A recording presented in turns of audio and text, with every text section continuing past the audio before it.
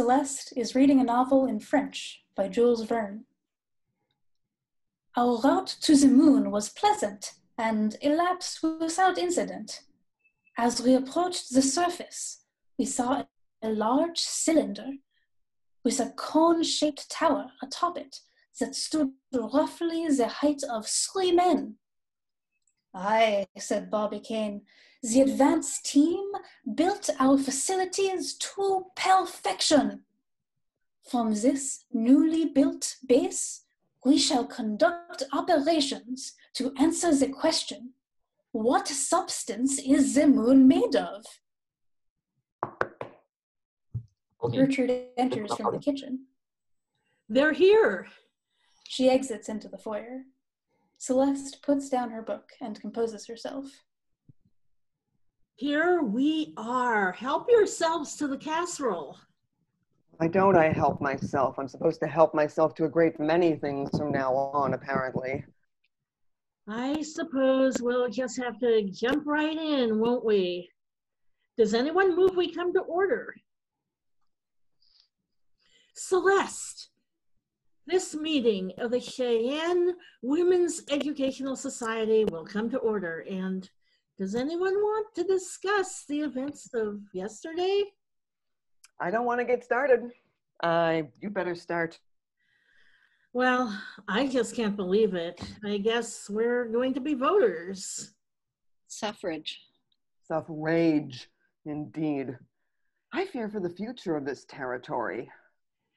Do you know what happened? I thought Campbell was going to veto it. Everyone thought he was going to veto it. He was supposed to veto women's suffrage. Rose told me. He came into the office and said, I think my wife should be able to vote. And then a half an hour later, he signed it. Wow. Hmm. His wife. I bet he just wants to make sure they vote Republican. Well, score one for the suffragists. But I spent all last night thinking of ways that we could minimize the damage. I think we should continue to educate. I mean, I admit it, we probably lost a lot of people who just don't like politics. I hate politics. This whole time, I've just been looking forward to getting this issue over with. But I spent the morning looking through the papers William Bentley Fowle left us. Now, he left a play about the dangers of suffrage, and I think we should sponsor a performance. I mean, it's a good way to talk about the issue besides the old three hour lecture. You know, Alice, if I may, um, Yes? well, it passed. We opposed it, but it passed. Isn't it important for us to get together and try to make it work? With the radicals.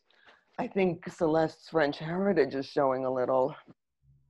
Je suis française, moi. Look, I know we didn't want this, but I'm not going to vote. You're not going to vote. What has really changed?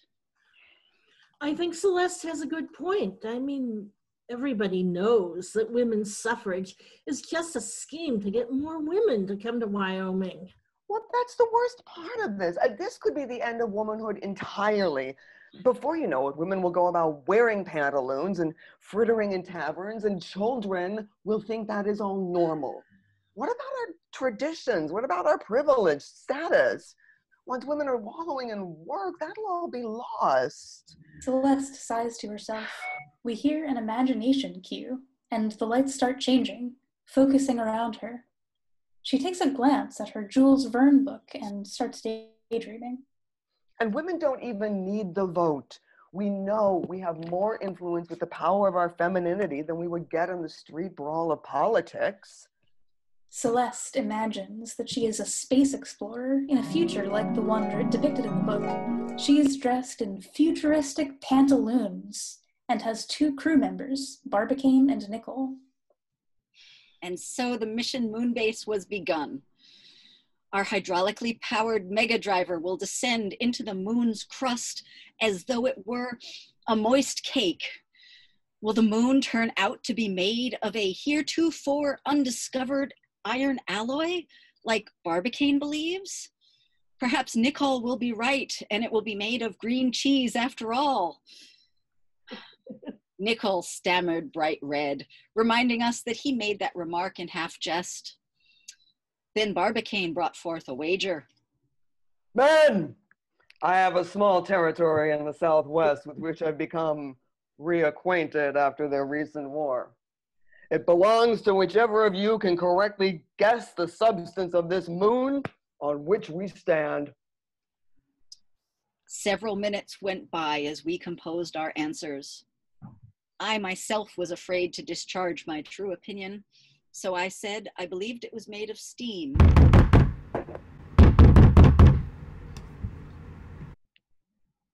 I'll see who that is. Celeste pulls herself back to the present. And if they ever do let Wyoming become a state, it will be too late because by then we will have become just this refuge for advocates of free love and Catholics. Celeste, are you listening? Yes, yes, I'm listening, Alice. I go on about this because I care. I know. We have a guest, ladies. Becky enters, a prominent town suffragist. Tension in the room. Hello. I didn't know you'd be meeting today. Well, it's an emergency. Yes, um, I'm spreading the word around town that our group is throwing a celebration tonight for suffrage in the territory. And I felt you should at least be invited. How nice of you. It's at Jackson Field. Oh, the fiddler Bobby H is coming up from Outland, so we'll have dancing. It, it doesn't look like we'll get an orator. Though I guess you're glad to hear that. it will be very neighborly. Thank you, Becky. We'll consider it. Governor Campbell might stop by, though. Well, I don't want to overstay my welcome. Yes, you'd better. Good day. I can't believe her coming to my house and inviting us to something like that. I think she was trying to be the gracious winner. Governor Campbell might stop by. Well, let's not get distracted. I'll wire about the play. Wait, wait, hold it. Celeste has the floor. Well, I was going to bring this. Celeste takes out a pamphlet. I got this from Elizabeth. She said, I saw this and thought of you. Moon lecture? There's this lecturer up from Cleveland who gives a talk about the moon and kind of the latest theories, and he's in Casper till the end of the month. Well, let's invite him here. Isn't this the kind of thing we're supposed to be doing?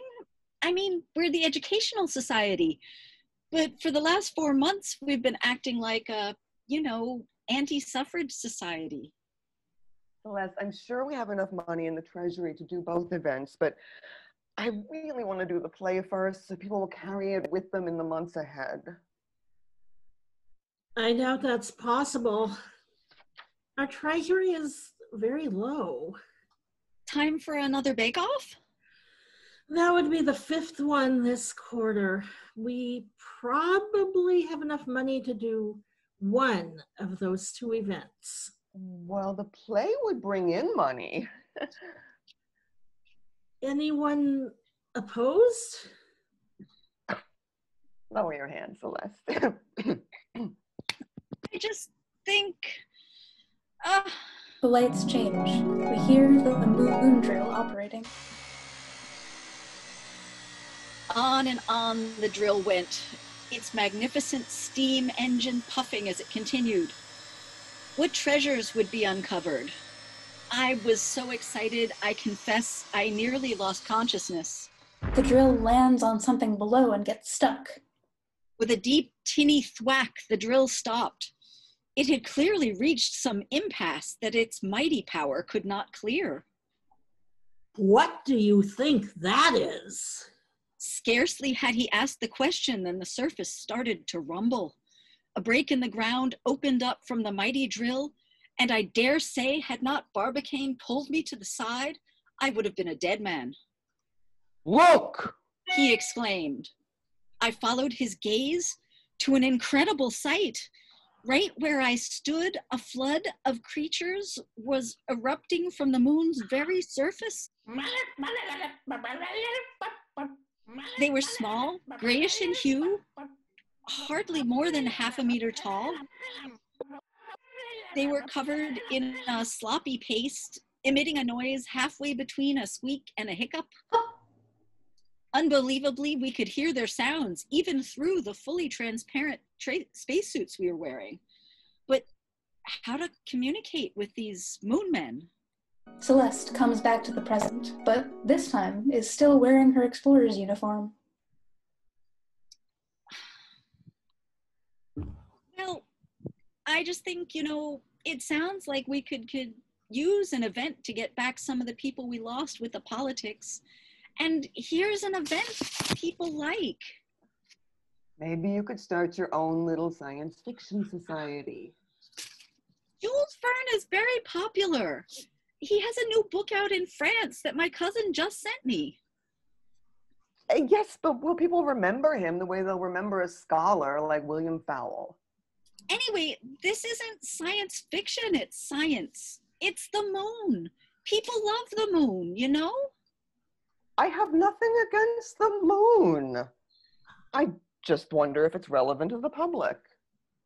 Oh, now that the war is over, people are a lot more interested in science.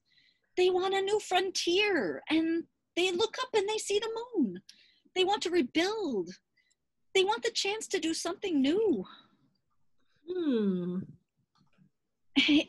It would be a better thing now to do than the play is because elections aren't going to be for another year anyway, and we can do the play anytime. But the Moon Man, he could be gone by next week. I do admit I'd like to talk about something besides suffrage. I guess I could use a break too. I guess they won. We'll just have to muddle through. We'll manage. We'll have to. Lights change. It was rough going at the start. Within three or four moon days, we had cobbled together a shared working language of about 200 words. By the time we had to return to Earth, we had agreed to explore trading Earth water for some of their moon metals, which could unleash boundless energy. And which of us three won the wager? Well, we talked it over on the trip home in the orbital vacuum tube. Because our mission was interrupted, though pleasantly so, we only were able to explore a small pebble of the moon, and so could not say with certainty what the full amount of it contained. That question would be left for other men. It was maddening, but Barbicane, Nicole, and I must content ourselves with the small amount of progress we had made. There would be other missions, and there would be other men and women. Lights change back, but Celeste hasn't returned to her seat. So I'll wire Casper. And Gertrude, if you could present your treasurer's report at the next meeting? All right. Meeting adjourned. Good night, everyone. Good night. End of play.